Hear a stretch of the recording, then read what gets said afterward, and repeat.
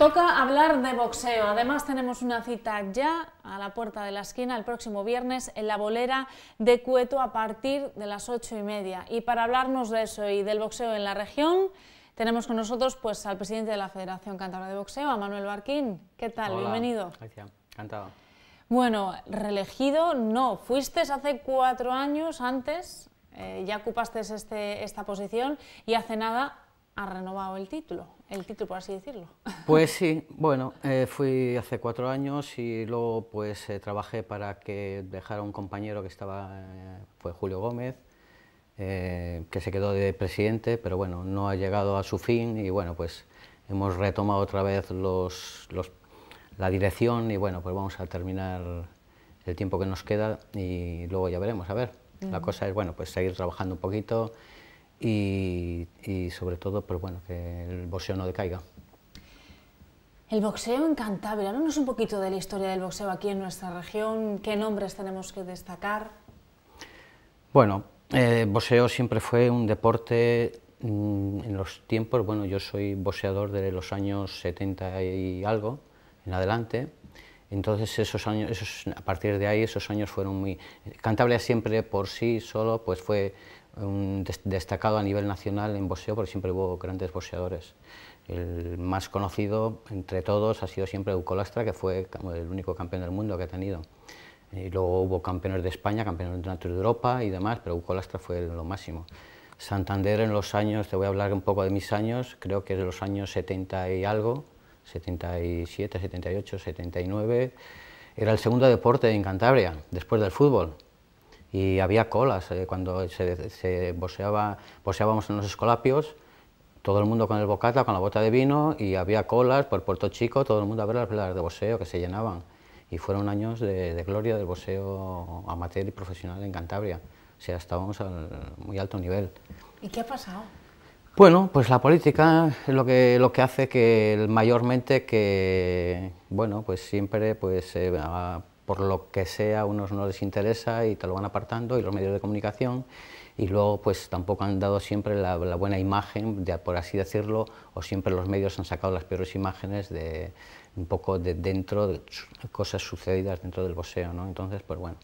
y luego, por desgracia, en todos los deportes, sí, sí, sí. pero parece que solo se hacen eco a veces de los deportes minoritarios sí, de lo sí, Sí, sí.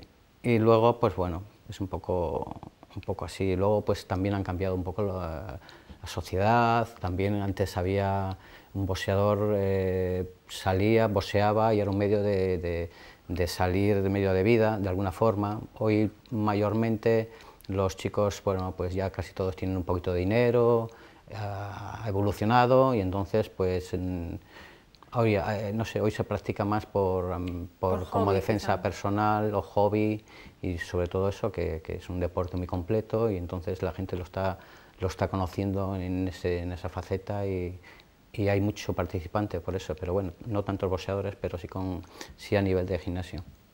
Bueno, Hugo Lastra es el más importante a nivel histórico y ahora mismo en la actualidad, ¿qué boxeador eh, podemos destacar aquí? Bueno, hoy en día eh, Sergio García es, es, un chico de Torrelavega, del gimnasio... Tenemos imágenes además del niño. Del gimnasio Cron, que que es un, lleva una trayectoria impecable, tiene cualidades para llegar a ser un gran campeón, le, le falta seguir rodando, lleva pocos combates aún, pero bueno, ha dado clase tanto en amateur como en profesional, de hecho está imbatido en amateur y en profesional, y sobre todo la dedicación que tiene y, digamos que la, mentalidad que tiene como, como boxeador que lo tiene muy claro y que entrena y sigue entrenando y, bueno, vive para ello. Bueno, podemos llegar ahí, llegar a tener un gran campeón seguramente en Cantabria. Bueno, al niño no le vamos a ver este viernes en Cueto, pero cuéntanos un poquito cómo va a ser ese programa de esa velada de boxeo olímpico. Seis combates en Cueto este viernes a partir de las ocho y media. Mira, pues eh, este viernes tenemos una velada amateur con dos combates de kickboxing, del espíritu guerrero y del club Bushido. Son dos combates de kickboxing entre, entre los mismos clubes, los cuales, pues bueno, a partir de eso, después de esos dos combates, hay cinco combates, seis combates más eh, amateur, que eh, son te puedo leer un poquito los nombres. Raúl Meñaca, que es un chico que va a debutar, es un chico que lo hace muy bien, que solamente tiene 15 años, que hace unos años no se podía boxear hasta los 17 y, ya se aprobó hace unos años y entonces, pues bueno, para que también el boxeo le pasa como al resto de los deportes, que hay que empezar muy jovencitos, que es cuando más se aprende. Entonces, pues eh, eh, Raúl Meñaca, que bueno, para aquellos entendidos que, o amigos que quieran conocer o ver a este joven, que es muy joven, pero que lo hace muy bien, eh, él debuta, debutará con otro chico de Asturias, con Adrián Butará, y bueno, pues será un gran combate. Luego también tenemos a una chica que se llama Alba Cascajo, que es también del gimnasio Club Arquín, que boxeará con Minerva Gutiérrez de Asturias. Luego está eh, Kevin del gimnasio Tomás Ruiz, que ya lleva unos cuantos combates, es un gran boxeador, un chaval muy peleón. Con David Martínez de Asturbos, Rubén Alonso también, veterano del Club Boscán, eh, eh, hace la revancha con Damián Esquisabel, ya boxearon a principio de, este año haciendo un gran combate, bueno pues repiten y quieren pues bueno desquitarse un poco el uno con el otro y, repiten ese combate, o sea que será un buen combate los dos. También tenemos luego en semifinal, bueno, de, los combates de la noche, eh, Bruno Ortega, Mm, volverá a subir al cuadrilátero porque este chico Bruno Ortega ya es muy veterano, es un, tiene muy, muy bien aprendida, aprendido como boxeador, es un gran boxeador, eh, quiere pasar a profesional, está intentando hacer sus últimos combates y ver si encuentra un promotor que lo pueda llevar y, y dedicar un poco el trabajo con, con el deporte, a ver si le puede encajar será el combate de semifondo con Moja, eh, Moja Satur de Asturias y luego en combate de fondo tenemos a Carmen Romero. Carmen Romero esta es una chica que boxea desde hace bastantes años. Ella fue dos veces campeona del mundo, una vez campeona de Europa, es campeona de España de boxeo, está en la selección española y tiene como contrincante a Violeta, que es también de la selección española, es campeona de España de 57 kilos y subcampeona de 54 kilos, que será un combate, pues me imagino que, que digno de ver, ¿no? Y sobre todo... Bueno, boxeo femenino no es lo que estamos además más acostumbrados a ver, ¿no? Siempre cuando hablamos de boxeo hablamos de hombres y se están haciendo hueco las mujeres, que son las que traen medallas, como tanto les gusta decir a los políticos siempre. ¿no? Sí, sí, sí, desde luego que sí. Nosotros también estamos haciendo mucho hincapié en, no sé, de alguna forma, pues en mimar un poco a las chicas y enseñarles un poco el, trabajo técnico y el trabajo a desarrollar con ellas, porque, bueno, pues porque, porque lo hacen muy bien, porque pueden ser grandes campeonas y que de hecho las hay, ha habido, hubo algunas, alguna campeona de Europa ya en España, y, ahora mismo, ya te digo, estas chicas pues están, sobre todo Carmen, que la, más la conozco,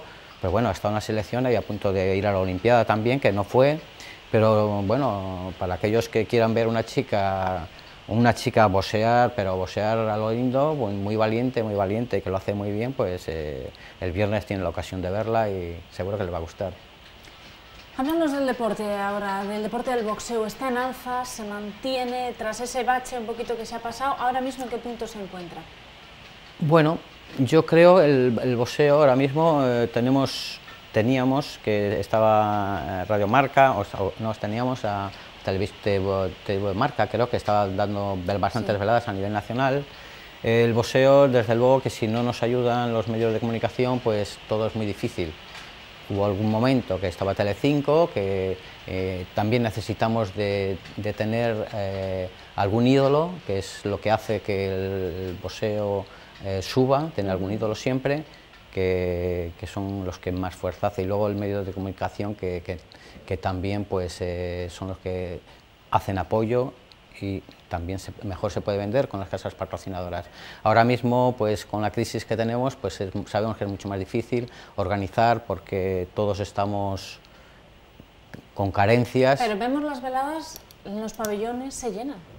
Sí, las veladas buenas se llenan. Sí, las veladas buenas se llenan. Lo que hay que también para que se llenen las veladas mm, se llenen las. en, el norte, ¿no? Vemos muchos asturianos, muchos vascos, hay afición al Pero hay que trabajar con hay que trabajar con los jóvenes para que eso siga siga manteniéndose, porque el problema que ha ocurrido también en España es que sí, hay una velada o, hay una velada buena, pero no hay que dejar nunca de trabajar con los más jóvenes, que son los que van a tener un poco la continuidad, para que no haya parones, que también ha habido de, de tener un campeón y no volver a tener un campeón en 20 años más, porque se deja de cuidar a los, a los más jóvenes. ¿no? Entonces, eh, aquí tenemos que hacer un poco de hincapié, pienso yo, porque, eh, porque los mismos, el gobierno o el mismo ayuntamiento, no sé, nosotros antes teníamos los pabellones gratuitos, los pabellones son de todos, pero ahora hay que pagar los alquileres, ahora les han puesto, nos han puesto alquileres. O sea, no, hay yo no tengo nada contra ningún otro deporte, pero nosotros ahora tenemos que pagar alquileres, hay muchos pabellones que todos copados con bolos y resulta que nosotros tenemos que pagar los alquileres de los pabellones, limpiar los pabellones y hacer todo, y claro, luego montar el ring, que un ring te vale cerca de 1.000 euros, una velada mínima, mínima, esta igual te vale 4.000 euros o 3.500, pero una velada mínima te cuesta 3.000 euros y nunca se saca de taquilla, porque, bueno, pues intentas abaratar las, las entradas, pero no son las que venden son un poco eh, veladas ya un poco de gente muy veterana o mucho más veterana y son las que venden un poquito más. Estas veladas pequeñitas, pues ¿qué pasa? Que también se tenía que mojar un poquito los ayuntamientos, el gobierno y, facilitar un poco, sobre todo es que yo digo que un pabellón es lo que, es, lo que pido como presidente de esta federación y voy a seguir pidiendo hasta que no consigamos un pabellón donde poder tener un espacio para que mm, se pueda desarrollar unas veladas y no tengamos el gasto ese de alquileres y de montajes de ring, que es lo más costoso, que son pues aproximadamente unos 1.500 euros que tenemos siempre de base. Un espacio fijo, vamos, eso es, lo que pedimos, un ring que esté quietito ahí no se mueva, eso ¿no? Es, eso es. No No, o que se pueda guardar, si es muy fácil, es facilísimo. A nivel hoy, hoy, hoy en un cualquier un bolera, en cualquier bolera, Mateo y Juela, hacer un espacio donde el ring se recoja y, se, y, nada lo saca. O sea, que la mayoría de los, de los, pabellones lo tienen ya, lo que hay que, bueno, pues que hay que, hay que involucrarse y que se tiene que involucrar un poco los ayuntamientos y, y los políticos. Pues con ese toque de atención nos vamos a despedir. Les reiteramos la cita del boxeo el viernes a las ocho y media en la bolera de Cueto. Veremos promesas, ¿por qué no? Y además boxeo femenino, para acercarnos también a este mundo. Manuel, muchas gracias, mucha suerte en el futuro. Muchas gracias a vosotros. Nos despedimos, volvemos mañana. Hablaremos de ese Trail Tresviso que se va a estrenar este fin de semana. Estará con nosotros el organizador y hablaremos además de otras pruebas atléticas que ya han sucedido y que también van a ocurrir a lo largo del fin de semana. Se lo contamos, les espero.